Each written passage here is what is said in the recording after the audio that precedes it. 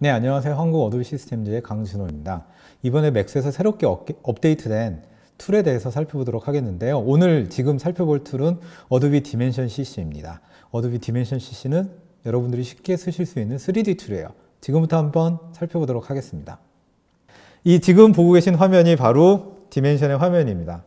대개 2D 포토샵이나 일러스트레이터 잘 다루시는 분들이 3D까지 잘 하시는 경우들도 많이 있는데 뭐 전공 자체라든지 아니면 하시던 일들이 다 2D여셨던 분들 같은 경우에 3D를 상당히 어려워하시는 분들이 많이 계세요. 3D 같은 경우에는 툴도 복잡하고 모델링도 어렵고 그 다음에 뭐 라이트나 coloring, 그 mapping이나 이런 것들 여러 가지 생각해야 되는 부분들이 상당히 많이 있거든요.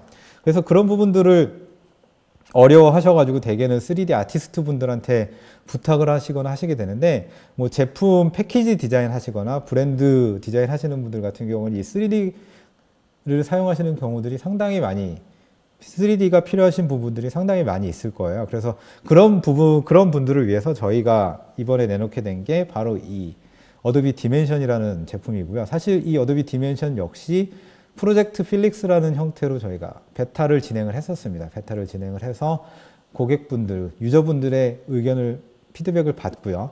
그 다음에 이렇게 이번에 맥스에서 새롭게 출시를 했는데요. 지금부터 좀 살펴보도록 할게요. 제가 일단 지금 보고 계신 화면이 바로 그 어도비 디멘션 CC고요.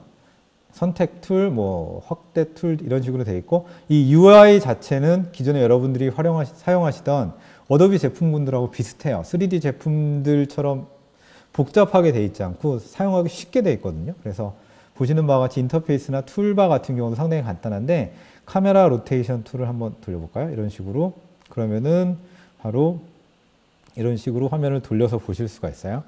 그런 다음에 실제로 모델링 작업 같은 경우에는 3D로 이미 제작되어 있는 모델링 파일을 불러올 수도 있지만 다른 이미 정의되어 있는 모델링 파일들을 불러오실 수가 있어요. 이 어도비 디멘전 안에서 바로 확인을 하실 수가 있거든요. 여기에 보시면 역시 어도비 XD처럼 여기에도 패널이 있어서 모델링 파일들을 이런 식으로 여러분들이 필요하신 게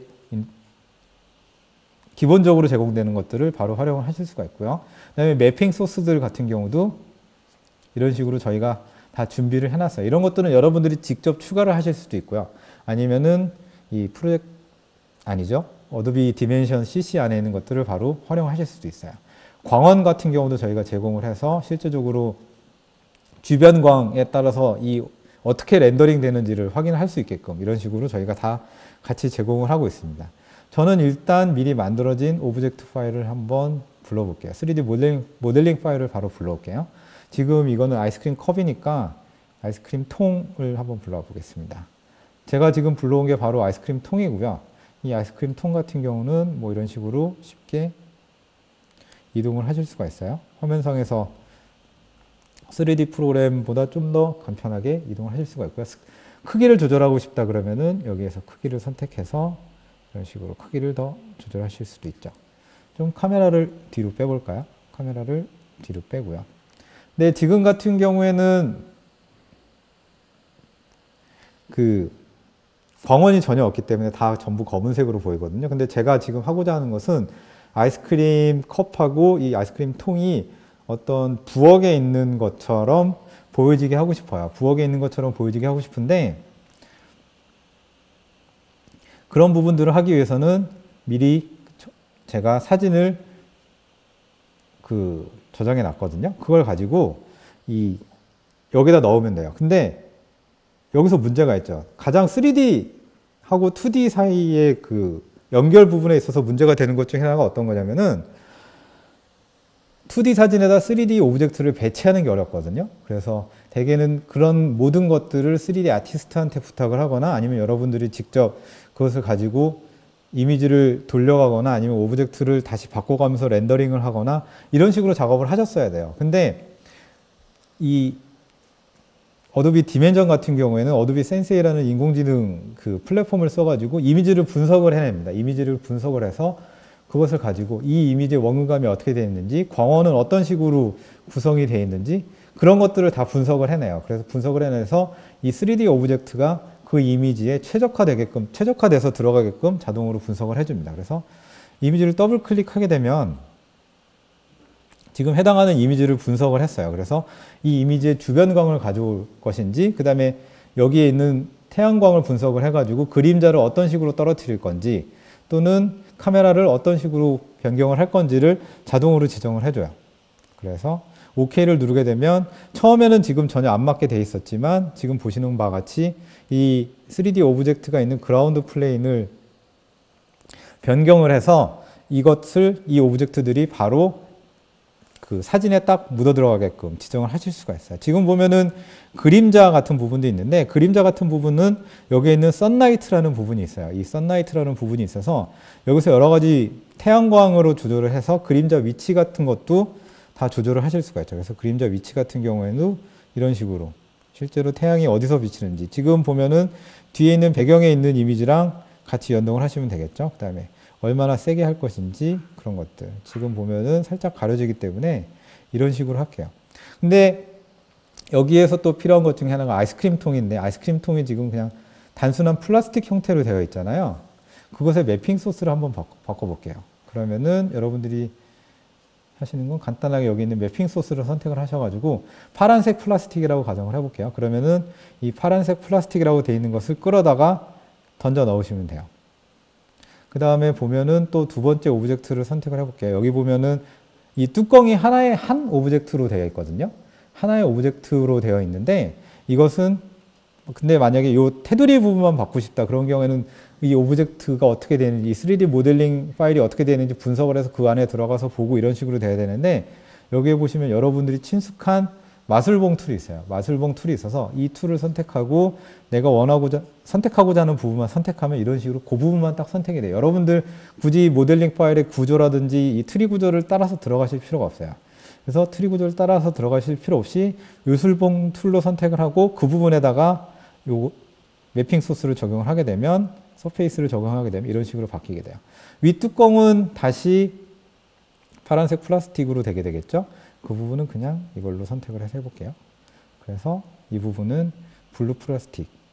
아, 그 다음에 덮어 써졌죠. 그래서 이 부분을 다시 선택하고 아까 지정했던 그 테두리만 다르게 하게 되면 요술봉 툴을 써가지고 여러분들 요술봉 툴은 많이 쓰셨잖아요. 그래서 요술봉 툴을 써가지고 이런 식으로 모델링 파일의 특정 부분만 쉽게 선택을 하실 수가 있어요. 그런 다음에 여기에는 로고 를 한번 붙여볼게요. 이 로고를 붙이는 것은 이미지를 가져오시면 돼요. 이미지를 가져오시는 방법은 열어서 가져오실 수도 있고요.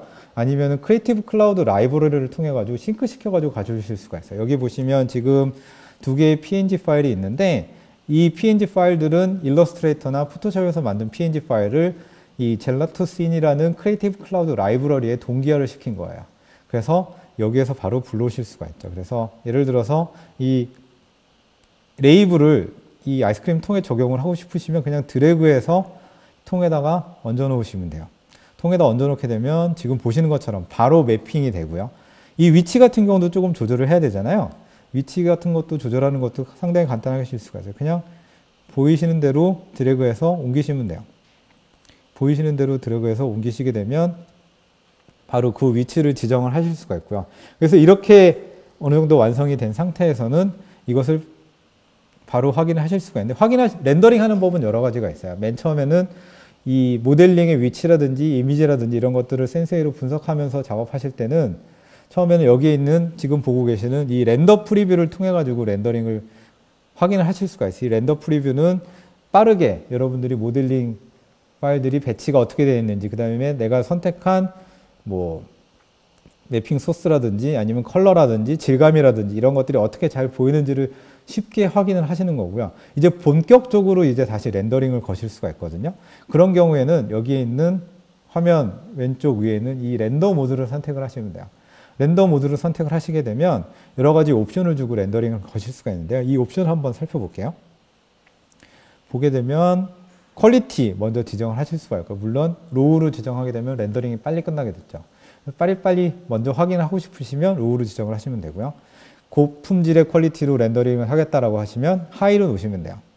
그 다음에 재밌는 것은 export format인데요. export format 같은 경우에는 세 가지 형태로 되어 있어요. PNG, 그냥 flat한 이미지 파일로 바로 저장을 하실 수가 있고요. 그 다음에 Photoshop 파일로도 저장을 하실 수 있는데 Photoshop 파일로 저장을 하시게 되면 그 각각의 object들에 대한 채널들을 layer mask를 씌워서 별도로 저장을 해요. 여러분들이 나중에 이 이미지를 retouching 하실 수 있게 쉽게 retouching 하실 수 있게 PSD 파일로 layer를 다 쪼개서 저장을 하게 되죠. 그래서 여러분들이 원하시는 형태로 선택을 하시면 돼요. 그래서 render 걸어 볼까요? 렌더링을 걸게 되면 이제 렌더링을 시작을 하게 되죠. 그래서 지금 보시는 것처럼 이 렌더링을 하게 되는데 Adobe Dimension의 renderer는 V-Ray예요. V-Ray renderer를 쓰기 때문에 상당히 고품질의 렌더링을 얻으실 수가 있어요. 그래서 지금 한참 렌더링을 하고 있는데 미리 렌더링 된 것을 한번 열어볼게요. 제가 미리 해왔거든요. 그래서 렌더링 된 것을 열어볼게요. 이것은 역시 Photoshop에서 열고 있는데 지금 보시는 바와 같이 이런 식으로 고품질의 렌더링 결과를 얻으실 수가 있고요. 그 다음에 layer 같은 경우도 살펴보면 이런 식으로 render된 이미지, 백그라운드 된 이미지, 그 다음에 depth, depth map에 대한 것들, 그 다음에 object selection에 대한 마스크, 그 다음에 material selection에 대한 마스크 이런 것들이 다 같이 렌더링이 돼요. 렌더링이 돼서 PSD 파일로 만들어주기 때문에 여러분들이 나중에 이 이미지를 수정하시는 데 있어서는 상당히 편리하게 수정을 하실 수가 있을 거예요. 그래서 이런 식으로 PSD로 저장을 하게 되면 이런 식으로 저장이 되게 되고요. 그 다음에 만약에 PNG로 저장을 하시게 되면 그냥 단순하게 이런 식의 이미지 파일을 얻으실 수가 있는 거죠. 네, 지금까지 Adobe Dimension CC에 대해서 살펴보았는데요. 2D 디자인만 하시던 분들이 어렵게 생각하시던 이 3D 작업을 이제 Adobe Dimension CC를 써가지고 상당히 쉽고 빠르게 작업하실 수 있을 뿐만 아니라 Adobe Sensei의 인공지능 기능을 활용하셔가지고 여러분들이 어려워하시는 lighting이라든지 아니면 배경과의 합성이라든지 이런 작업들을 손쉽게 하실 수 있는 점, 그 점을 기억하시면 될 것 같고요. 꼭 한번 활용해 보시기 바랍니다. 감사합니다.